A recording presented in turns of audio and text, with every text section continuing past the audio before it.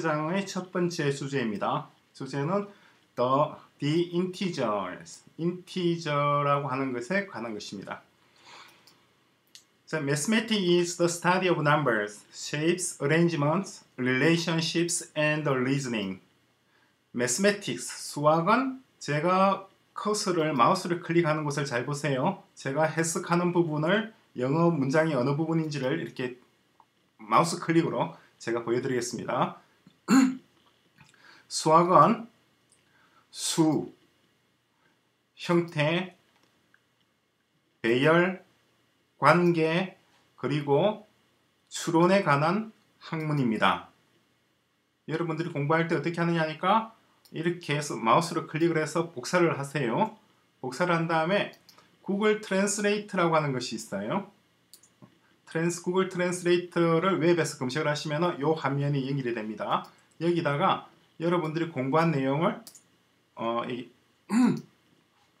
이 부분 있죠? 이것을 어, 이 복사가 안 되는 PDF군요. 다른 PDF 아마 여러분들의 컴퓨터에서는 될 거예요. 지금 제 PDF로서는 제 시스템으로는 복사가 안 되는데 이걸 복사를 한 다음에 여기다가 붙여 넣으세요. 아니면은 타이핑을 하셔도 됩니다. 타이핑을 하거나 복사해서 붙여넣기로 해서 그게 어떻게 해석되는지 어떤 의미인지를 한번 어, 파악을 해보세요. 그래서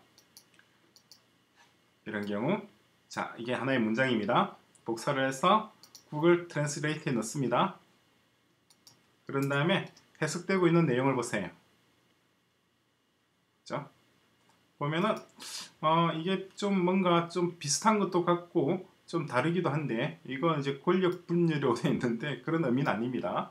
어, 아니지만 하여튼 이게 어떤 문장인지에 대해서 대충 대략적인 느낌을 받을 수가 있어요.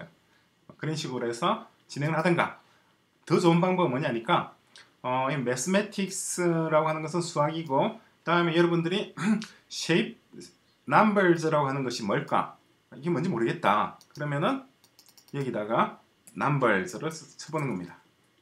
그러면은 번호라는 말도 나오고 어, 뭐 숫자라는 의미도 있는데 여기는 지금 번호라는 의미만 나와 있네요. 별로 바람직하지가 않네요. 어. 그리고 또 shapes라고 하는 게 있죠. 그럼 또 shapes를 써보는 거예요 여기다가. 그러면은 어, 이걸 하면서 이거 뭐라고 뭐라고 하나요? 타이핑을 하면서 여러분들이 어, 앞으로 영타를 많이 해야 돼요. 영문으로 타자를 할 수 있어야 되는데 그런 기술도 배울 수가 있고 그리고 단어도 외울 수가 있고 또 그 의미도 이렇게 다양하게 한번 살펴볼 수가 있는 거죠. 자, 그런 식으로 해서 처음에는 느리지만은 느리지만 할 수 없죠, 그죠? 처음엔 다 그래요. 어, arrangement라고 했죠? arrangement는 뭘까? 해서 arrangement 아, 이건 배열, 배치, 정리, 정돈 이런 의미구나 하는 걸 우리가 알 수가 있죠. 그렇죠? 이렇게 해서 공부를 해 나가야 됩니다. 선생님은 그냥 읽고 나갈 테니까 여러분들은 어, 나중에 어, 선생님이 했던 내용 설명드렸던 내용을 기초로 해서 사전이죠 이게 사전을 통해서 단어 하나 하나를 이렇게 어, 검색을 하면서 그 뜻을 이해를 하면서 진행해 와야 됩니다. 무슨 말씀인지 알겠죠? 자, 수학이라고 하는 것은 수와 도형, 배열, 관계, 그리고 추론에 관한 연구입니다.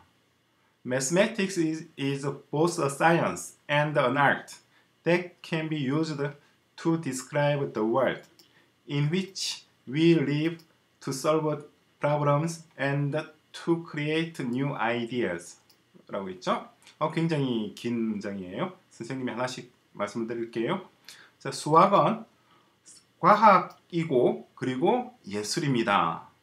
둘 다 뭐뭐 하다고 얘기를 한 거예요. And는 둘 다입니다. 이런 뜻이에요. 수학은 과학이기도 하고 예술이기도 해요. 근데 어떤 예술이냐니까 세상을 설명하는데 사용될 수 있는 이에요. That can be used to describe the world. 세상을 설명하는데 사용될 수 있다. can은 있다 없다 이런 거 말하는 거예요. 그런 과학이고 예술입니다. 근데 어떤 세상이냐고 하니까 in which we live to solve 어, 우리가 살고 있는 세상이죠. 우리가 살고 있는 세상을 설명하는데 이용될 수 있는 과학이고 예술이고 입니다. 또한 어떤 과학이고 예술이냐니까 to solve problems 문제를 해결하는데 사용되는 그러한 과학이고 예술이고 그리고 to create new ideas 새로운 아이디어들을 만들어내는데 그런데 사용될 수 있는 과학이고 예술입니다.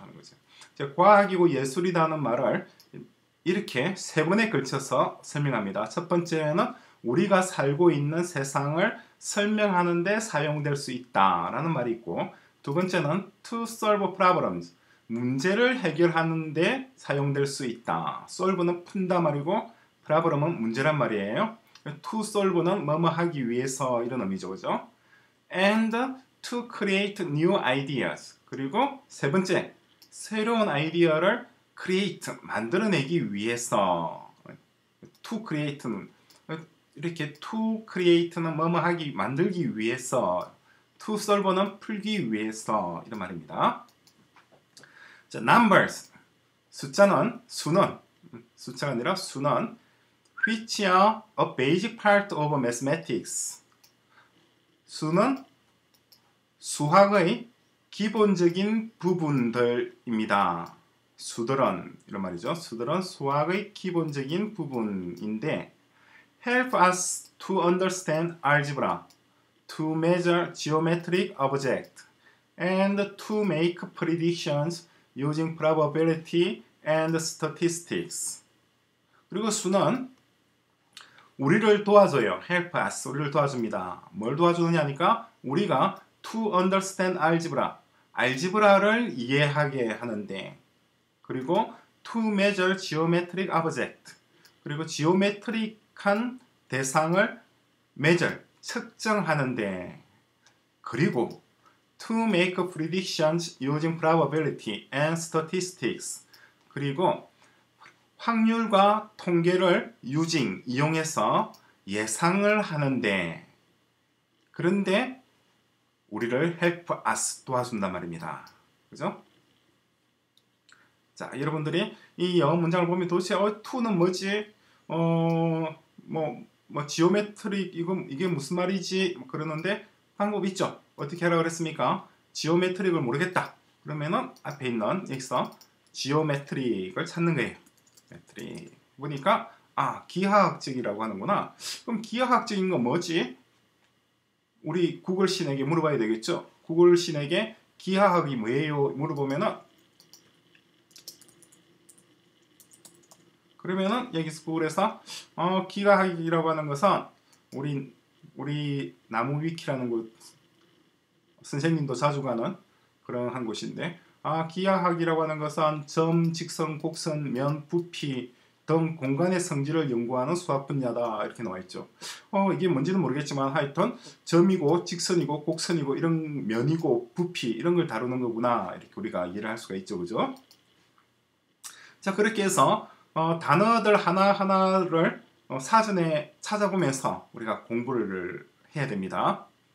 어, 그러면은 전반적인 내용이 이해가 될 거예요. 전체적으로 선생님이 설명했던 내용과 여러분들이 사전을 검색해서 단어의 뜻을 찾아보고 이렇게 해서 이 문장이 어떤 의미인지 대략적이나마 여러분들이 감을 잡는 거예요.